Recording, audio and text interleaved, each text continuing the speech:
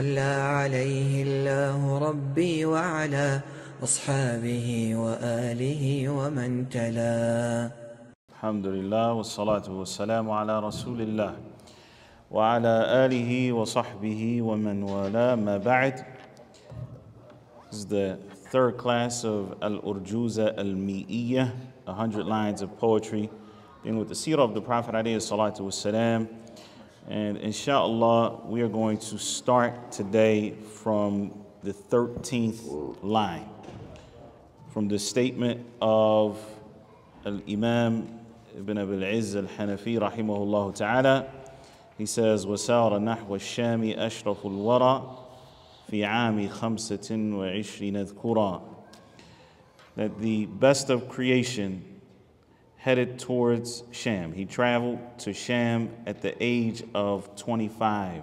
At the age of 25. So this is line 13. Now, you'll recall that the last event that we covered, and this is event number what, by the way? So we make sure everybody's on the same page. This is the ninth event. Okay? He travels to Sham to do business for Khadija radiallahu ta'ala anha. So prior to that, we talked about his first trip to Sham. And what happened in that first trip to Sham? Yes. Who acknowledged it? right. So he met with the monk, and the monk's name was what? Bahira. Bahira. And he saw the Prophet ﷺ at a, at a young age and believed that he would be that prophet that the learned from the Ahlul Kitab knew was supposed to be coming. And so when he saw certain things from the Prophet ﷺ, he believed that he would be that one who was sent. Uh, then the author skips from the age 12 all the way up to 25, and we don't have a lot of information there. We mentioned that at some point during the that stage of the Prophet Prophet's life, he was what? He was a shepherd. That's right. He was a shepherd. And there were many benefits to him, you know, being a shepherd. Now we pick up from the statement that he traveled to Sham, or, or from this 13th line, which I'd like you to read in English, lo samaht. The 13th line. الحمد لله رب العالمين والصلاة والسلام على رسول الكريم غفر الله لنا ولشيخنا وللمؤلف رحمه حفظه الله or the translation of the poem yeah, just the, just the 13th line. The best of mankind again traveled to Asham at the age of 25 remember it Yeah, remember it. Okay. So, oh, uh, keep going. As a trader for our mother Khadija radiallahu anha and he returned that year after profitable trade happy Yes. Okay. So lines 13 and 14th cover the ninth event. All of this is happening prior to the Prophet ﷺ receiving revelation from Allah subhanahu wa ta'ala. So he went to Sham at the age of 25 to trade for Khadija radiallahu ta'ala anha. They say that the type of trade was what is known as al-mudaraba. Al-mudaraba is uh, where there's a silent partner who invests the money, right? So somebody has money, they're looking for somebody who can make their money work for them, some, somebody who can make that money profitable for them. The, the one that knows how to, what to do with the money doesn't have enough capital for themselves. And so they create a partnership, right? That person provides the money and they profit share. All right? So this is what the Prophet ﷺ did at the age of 25 for Khadija, radiallahu ta'ala anha. And at that time, they were not yet married. She was just the businesswoman, woman. And the Prophet ﷺ was the one that was going to uh, trade with her money. And that's why he went to Sham. Now, he says, the, the author says, Li ummina Khadija, for our mother Khadija. And that is based on the fact that later, the Prophet ﷺ married Khadija. And all of the wives of the Prophet ﷺ are called what? Umm al Mu'mineen, right? Mother of the believers. And so, based on the fact that she was later married to the Prophet ﷺ, the author calls her Li Ummina Khadija, for our mother Khadija. And Allah subhanahu wa ta'ala says, النبي أولى بالمؤمنين من أنفسهم وأزواجه أمهاتهم. And his wives are mothers of the believers. Khadija, you can write this down. Uh, her, her name was Khadija bint Khuwaylid. Khuwaylid, which is the tasghir, the, how do you say tasghir? Tasghir of Khalid. So it's, it's, it's, when you make, it's when you make it like a pet name, I guess. Okay? So she was Khadija bint Khuwaylid, Ibn, the son of Asad, Ibn Abd al-Uzza, Ibn Qusay, Ibn Kilab, Ibn Marra. That's where she meets with the Prophet sallallahu alaihi wasallam is at Qusay, the fifth grandfather of the Prophet sallallahu alaihi wasallam. So she had heard that the Prophet ﷺ, as, as did the people of Mecca, they knew that he was trustworthy. Um, she had heard good things about the Prophet ﷺ, so she sent her servant, his name was Maysara, she sent him with the Prophet ﷺ to Sham to do business. Read from page 78 uh, in our book, the explanation of the 100 lines of poetry by Sheikh Abdul Razak al-Badr, hafidhullah ta'ala. قال الشيخ عبد الرزاق حفظه الله Upon returning 25 years old, meaning when he sallallahu alayhi wasallam reached the age of 25, he left for his second journey to Asham to do business with Khadija's wealth radiallahu anha. Al-Hafiz ibn Kathir rahimahullah, he said, he then left for Asham a second time with the wealth of Khadija bint Khuwaylid radiallahu anha as a loan in the company of her, of her servant Maysara. Yeah, that's not correct. That translation, it, it was a loan. It wasn't a loan. It, they were business partners. Uh, and I, am not sure why the translator translated that way. No. He, Maysara, saw astonishing things from him. So, uh, so astonishing, uh, I'm not an English major, but a lot of times you hear so, uh, astonishing kind of has a negative context. So it, that's not what it means here. It's just like he saw things that were wonderful from the Prophet sallallahu alaihi wasallam. Yeah. So upon returning, he informed her of what he saw. Upon hearing that, she requested to wed him due to what she hoped of good that Allah would bring about through their marriage. Afterwards, the Messenger وسلم, married her when he was 25 and she was 40. Excellent. Okay. So notice that what, what, we, what we gather from this is that Maysara came back. Uh, he was the servant of Khadija. He came back and he informed her of the wonderful things that he saw from the Prophet wasallam about his character.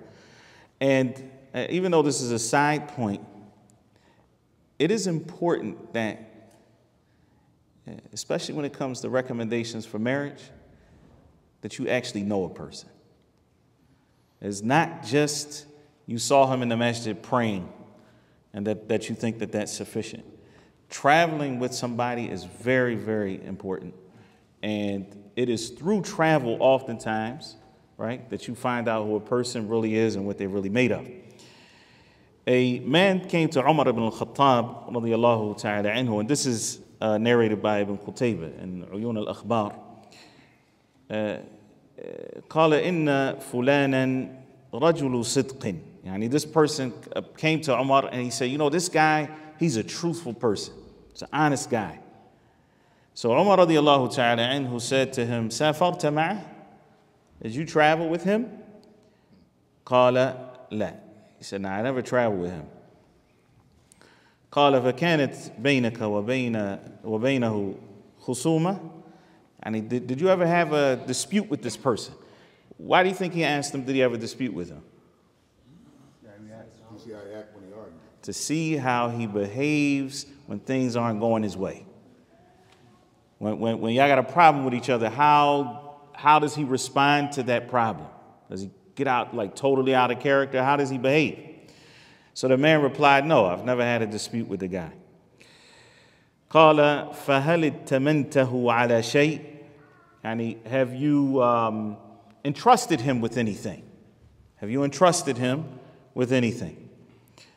Why do you think he asked him that question? See if he's trustworthy. I, got. I gave him something when I when I came back. It was the same way it was when I left him. I loaned him some money. He needed some money, so he was going to pay. How, how does he? How, did you did you test him that way? Not that you're trying to test him, but you may need to entrust something to somebody. So he said no He says, فَأَنْتَ الَّذِي لَا عِلْمَ لَكَ بِهِ He said, You don't have really any knowledge about this person. قال أراك رأيته يرفع رأسه ويخفضه في المسجد. He said, I think you just saw him moving his head up and down in the masjid, meaning you saw him praying in the masjid and you and you thought that oh he's a he's an honest guy because you saw him in the masjid. And so while it's important to be in the masjid and it's important to form bonds in the masjid, just because you see somebody pray does not mean that you know who they are.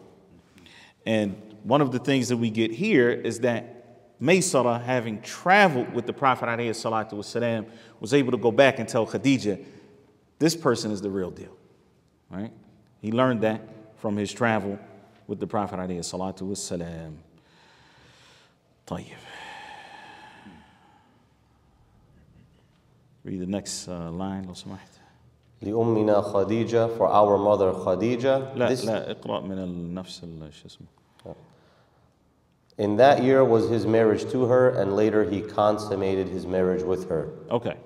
So in that year, in that year, قال فكان فيه عقده عليها وبعده إفضاؤه إليها. So in that year, he contracted the marriage with Khadija radiallahu ta'ala anha and thereafter consummated the marriage. So how old was he when he married Khadija radiallahu anha? He was 25, correct. And Khadija, according to the majority of the scholars, was 40 years old at the time that the Prophet ﷺ married her. She also had children before the Prophet ﷺ, and she was known as Umm what? Do know? Umm Hind. Umm Hind. Radiallahu anha. Uh, we're going to cover a little bit more about Khadija radiallahu ta'ala anha as we go later on in the uh, poem, inshallah, uh, because her name will come back up again. But we'll mention it right now that Khadija radiallahu anha had unique qualities that none of the other wives of the Prophet had. I'll mention five of them. The first is that she was the first wife of the Prophet. So that's number one. Number two, she was the only wife of the Prophet who, who never had a co-wife. So when the Prophet was married to Khadija, he didn't marry any other woman for the for the duration. The entirety of the time that he was married to Khadija radiallahu ta'ala anha, which, which was 25 years. He was married to Khadija for 25 years, and he never married another woman when he was married to Khadija radiallahu anha. The third thing is that she was the oldest, she was the, uh, the mother of his oldest child. And his oldest child was named, we'll cover that inshallah. Number four is that she was the mother of the majority of his children. So the Prophet ﷺ had seven children. Khadija radiallahu ta'ala anha was the mother of six of them. The fifth thing is that she was the only wife of the Prophet ﷺ to be explicitly given, given the glad tidings of Jannah. The Prophet ﷺ. And we know that Allah Azza wa said about the companions in general, وَكُلًّا وَعَدَ اللَّهُ الْحُسْنَى that all of them have been promised paradise. And the wives of the Prophet والسلام, were no doubt from his companions. But specifically, it was Khadija radiallahu ta'ala anha who had been mentioned. طيب. The author then goes on to say, uh, وَوِلْدُهُ or وَوُلْدُهُ and I, uh, wuld with the dhamma on the waw is which you'll find in most places. وَوُلْدُهُ مِنْهَا خَلَى إِبْرَاهِيمَ فالأول القاسم حائز التكريم. Now, we're not going to get into the specifics. I mentioned last time that this, this line here needed to be fixed. Fixed or not fixed, the meaning is exactly the same, right?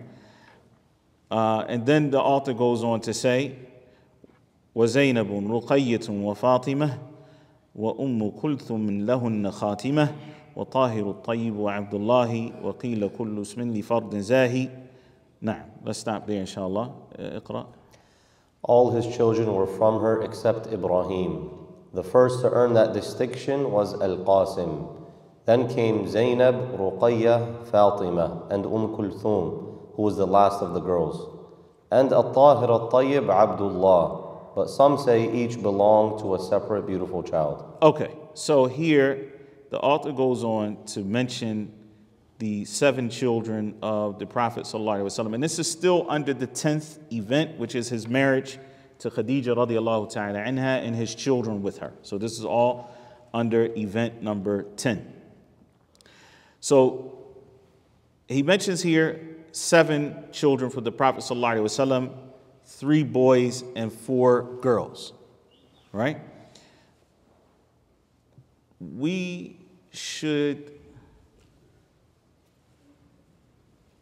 as Muslims, we should know this, right? Because if you love somebody, you love who they loved.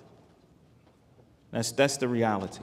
If you love somebody, you love who they love. Our love for Allah subhanahu wa ta'ala, how, do, how does that manifest?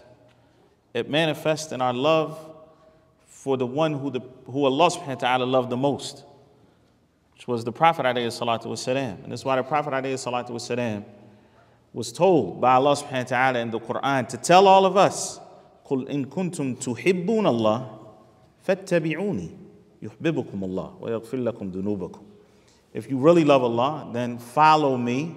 Huh? Allah will love you and forgive you of your sins.